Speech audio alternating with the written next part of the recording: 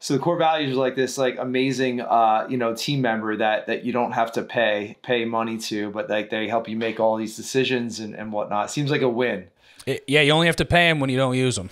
So there you go. Oh, I like that. I like that. It's quotable. now, how have your core values? How do you hire based on those? How do you how do they help you attract the right people? Uh, talk about that kind of you know recruiting, hiring, training, onboarding process in terms of core values. Sure. Um, so I still do I still do the hiring um, pretty directly, ninety percent of the time. Um, I honestly like uh, we have a few minute conversation about like experience and skill level, and then I get gut wrenchingly honest.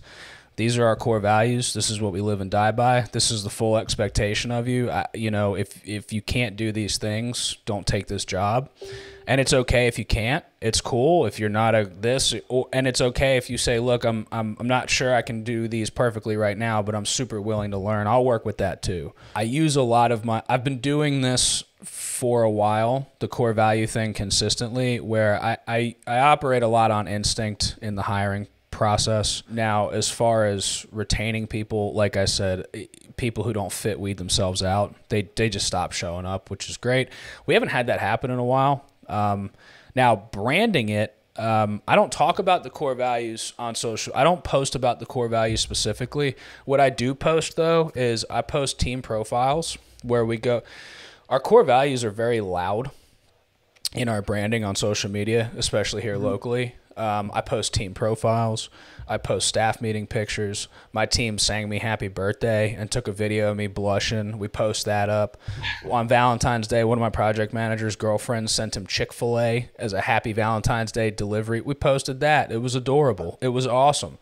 We post team building and training, and this is this guy learning how to do this. And what that does is it attracts the most recent hire we have, an assistant project manager. Um, it attracted him he sent us a Facebook message and basically said, I've been looking for a company like yours my entire life. Can I please come in for an interview?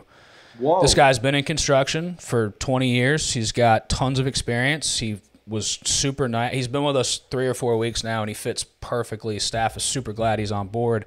But when he came in for the interview, he was like, I've spent my whole career getting berated, yelled at, cussed at, underpaid, overworked. He's got a daughter. He was like, you know, I just want to take my daughter to school in the morning and, be able to get her by 5:30 for for daycare and like there's not a job on the planet that's even been willing to talk to me about that. And I looked at him and said, "If you're taking your kid to school and picking her up, I literally don't give a shit what time you come in and leave. I really yeah. don't. I don't care. I have two kids.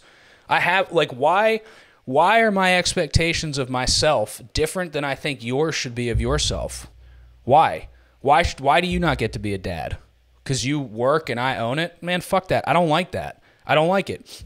And I think that men who prioritize their children over anything else are the kind of men I want working for me.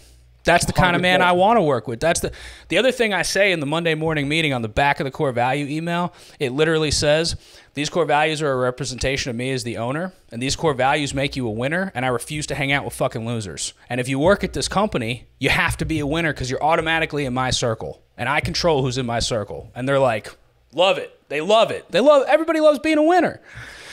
So, but that attracted him to us. It's the same thing with the subcontractors. Now, now subs are, you know, most subcontractors start because we pay more. Just being honest, most subs are like, "Oh, your pay scale is better than everybody else. I'm in," but they stick around because we're awesome because my project managers are communicative. They're up front. They show up on time. They don't ignore phone calls until 10 o'clock in the morning and then roll in to unlock doors. You need a door unlocked at 6? We'll unlock the door at 6. Like, do you see what I'm saying? The, yeah. the subs feel it too. Um, right. But their onboarding's a little different. You usually convince them to come on by being like, I'll pay you $2 more a square foot. And they're like, done. like, yeah, yeah, yeah. I but we go over. At, right? Well, like, well yeah. we go over core values with that. Like, we're very clear we had a sub who we let go of honestly recently who wouldn't communicate properly and, and, core value number one is communicate proactively and one of my designers sat down with him and was like look man we need you to crush it but right now you're rushing it without the community and I, and I was like i was like mine that was like the most incredible little quip i've that was like awesome not planned at all it was it was incredible but it was true and we had we let him go though his quality of work was fine, um, he was your average everyday subcontractor. Didn't fit our core values. We ditched him and hired three more. That's how that's how clear cut this is for us. I don't care awesome. your quality of work. Well, I yeah, do, you, but you know, if you tolerate that, then other people see that, other subs see other team members see that, and they're like, "Well, Sam is just you know letting that guy have a fly or letting him have a pass on that." Like, all right, core values aren't that important anyway, right? Yeah, so you've well, got to hold that hold that standard. Yeah, and and also remember, like your project manager is running a project with the subcontractor. Your project manager makes probably a salary plus a bonus on job completion. Subcontractor's making a ton of money on these big projects. So your project manager, who you are requiring to live by a set of standards, is making X, and watching the sub, who isn't required to live by anything, making double, triple. What what kind of standard are you setting? And I tell my guys all the time, we pay these people good money, they will live by these core values or they will go. And like the project managers respect that. The helpers respect everybody respects that. You know, it's not like a competition of pay for anybody.